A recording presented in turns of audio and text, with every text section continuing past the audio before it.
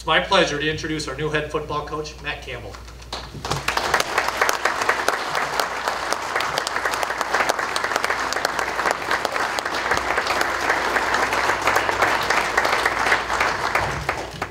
Well, I'll say this. I'm truly humbled, honored, and privileged to be a part of this great university and this great football program. When we were thinking about what our next head coach was going to look like, we wanted somebody that had been a head coach, somebody that could bring to the table uh, their staff. I love the fact that he was the son of a coach and his mom had been a, uh, an administrator in school, so education really mattered to him. And then I love the fact that he was really committed to his family. So I came in in Coach Campbell's first recruiting class, and right away, whenever I heard he got the job, I could just sense this excitement. This excitement with him, around the program. I had grown up a Cyclone fan. My dad used to coach here when I was little, and uh, he was really able to sell me on changing a culture. When Coach Campbell arrived here, uh, no one really knew what to expect. I mean, all our coaches just got fired. We're trying to, you know, figure out as a as a team what we're trying to do, where we're trying to go, and then you bring in a whole new staff. Uh, luckily, Coach brought in everybody that he had worked with in Toledo, and you know he brought everybody that knows what they're doing. Everyone's on the same page, and you know, going into that winter, we uh, we tried to establish a new identity as a team. It made us work very hard. It was probably the hardest winter I've ever been a part of, but it made us a way better program. You know, Coach Campbell had the opportunity uh, to come to Iowa State from, from the University of Toledo. And, you know, one thing that doesn't happen very often in, in Division One athletics um, and, and, really anywhere is the head football coach uh, believing in the people that he had, you know, with him. From an organization standpoint, I think it allowed us to have the opportunity to uh, be aligned from day one. The trust that we've built within our staff, it's been a priceless concept that gets overlooked. I think being able to be together to, to know how the other person thinks, uh, to know when they're up, when they need your help, and, and I think we've been able to do that here as a group. This isn't the football factory. In a lot of ways, I've always said this is the ability to be the life factory and the ability to grow from an 18-year-old young man and leave our program as a 22 or 23-year-old man that's got the opportunity to have every tool in his toolbox in life to go be successful. From day one, he adopted uh, all of the things we had in place academically at Iowa State. Um, when he showed up, we started with a 2.18 GPA, so with the first two rows and with the class checking commitment and with the no tolerance um, for missing tutors, we were able to move our GPA to a 2.81 in one semester. From there, it's only gone up. Um, we finished this last semester with the highest GPA on record at Iowa State University, which speaks to the commitment Coach Campbell has to our academics. Coach Campbell's commitment to supporting the transition of life after football is done through a direct partnership with the Iowa State Letter Winners Club. From day one, he made it a priority to welcome back former athletes and has continued to foster that welcoming environment. Under his direction, I have the opportunity of overseeing a mentoring program that directly connects former and current football athletes with focus on career preparation and building habits that promote success in life. Going into the first fall camp with Coach, uh, no one really knew what to expect in that way either. Um, really, we had to find out who we were as a team. For old Joel Lanning to take it to the house again. That's five? To be honest with you, I, am grateful for our 22 seniors. Those kids have done a remarkable job for us. I appreciate them greatly. I think you saw even in the fourth quarter of the game, those kids just continue to play really hard. I'm disappointed that obviously we couldn't put them out with a win, but I will be honest with you, they, those guys have sacrificed so greatly for the for our football program. Really appreciative of them and certainly what they've done to make sure that this program is going in the right direction. Programs aren't built in one day, and we knew it would be hard. Um, you know, while the season was really tough, at the same time, too, we had high expectations for ourselves going forward because we understood the vision Coach Campbell was trying to give us to trust the process. You know, after year one, one of the great things for this program is it was a group of seniors that demanded at least change, that they created hope that Iowa State football soon had the opportunity to win and be successful. Coach came up to me and asked if I would do do some quarterback and you know try to play both ways and help this help the team out in any way I could. Your opportunity, your shot, but it's going to take discipline. It's going to take one play at a time. and it's going to take an elite team effort. Is that fair? Moral of that story is you just got to keep playing no matter what happens, um, no matter how bad it gets, because we were down 14 and nothing in the blink of an eye. I'm going to talk to you like you're going in. So it's the first start of my college career. We're at a point in the season where we're two and two, and we're really at a crossroads. Um, for us, it's kind of the theme of what the season's been, coming up the rough side of the mountains. What Coach Campbell's preached to us. It's what really is what this program's all about. So, you know, for us, no one expects us to win the game. You know, it's kind of like everyone's counting us out, and that, that's what makes this play special, is that's always going to be the case. Hey, hey, hey, look, right now. Hey, I got something to say. Hey, look, when we was losing, I still love y'all. We winning, I still love y'all.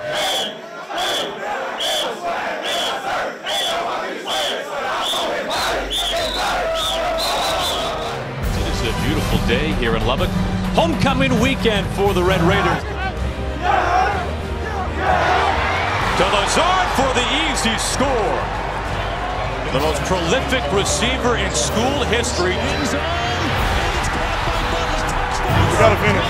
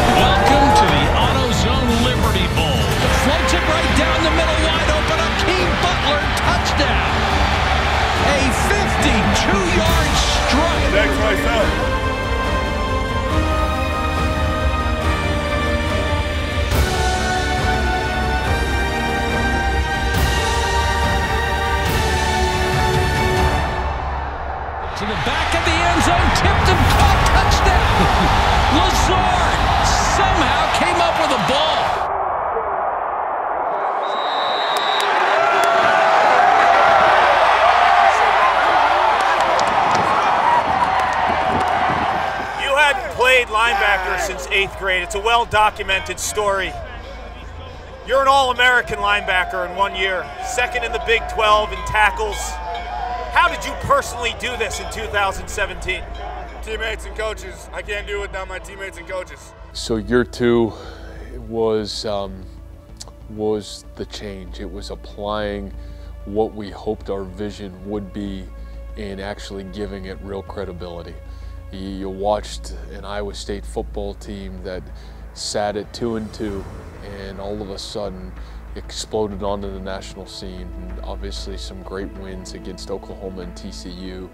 But I thought what was really big for this team was to start to sustain success, um, learning how to win football games and capping it off with a Liberty Bowl and first bowl, bowl appearance in a long time and a first bowl win in quite a while. Um, I thought it was a powerful statement by that senior class that Iowa State not only was was here, but Iowa State was ready to compete for the long haul. And um, you know, I think it was, we were able to take that energy and that emotion and really apply it to every aspect of our recruiting. Because now, not not only were we selling a program, but we were taking a vision and we were giving it real credibility. Um, and really, from there on out, it's been a, it's been a powerful stage for this program. I chose Iowa State because I wanted to go somewhere and do something for the first time. And here at Iowa State, that's a perfect place to do it. And when Coach Campbell called me and told me his vision and his plan as far as uh, being here in Ames and at Iowa State, um, I was all in. I was all on board, and um, you know that was the main reason why I came.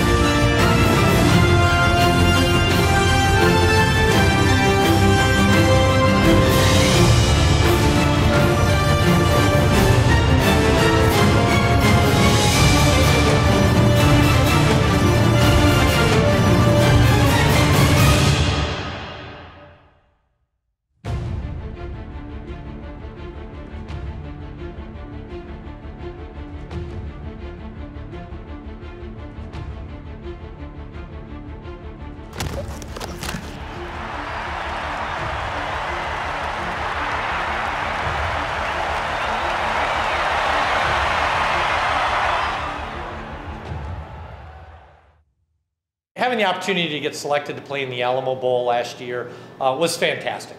You know, I've been here at that time 14 years, I've been here 15 years now. But I, I, had the experience in a prior life at a different school to play in the Alamo Bowl.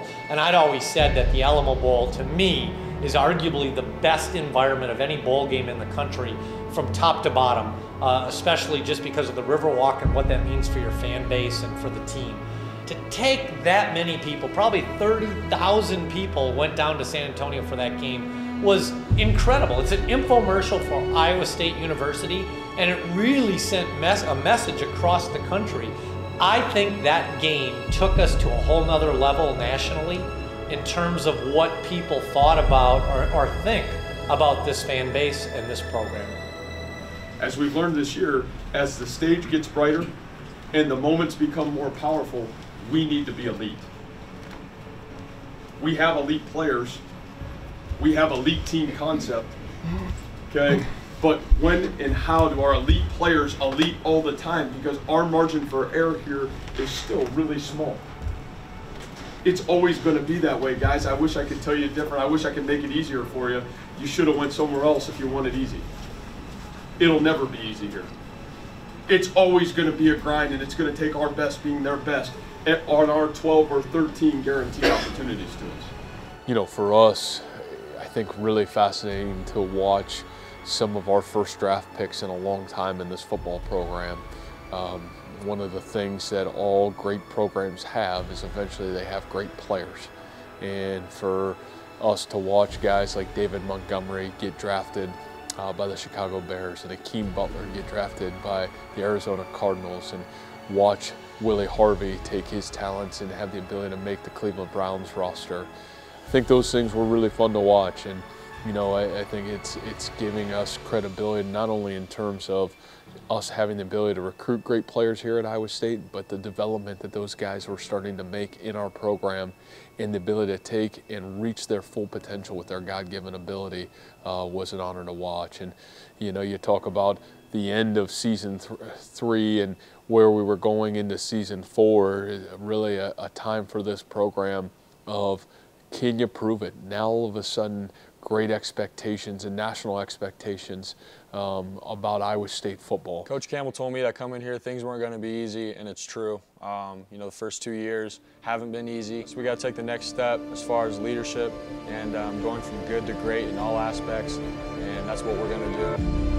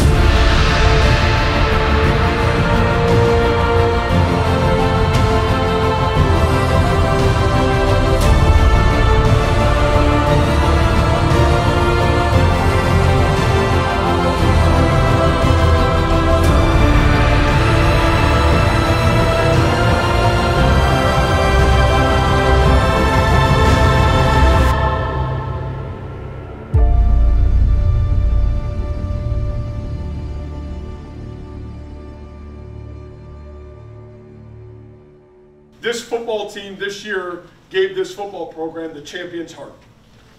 That's what you gave us. Okay? I'll say that again, and I'll say that again, and I'll say that again. The champion's heart. How do I love and care and serve others around me?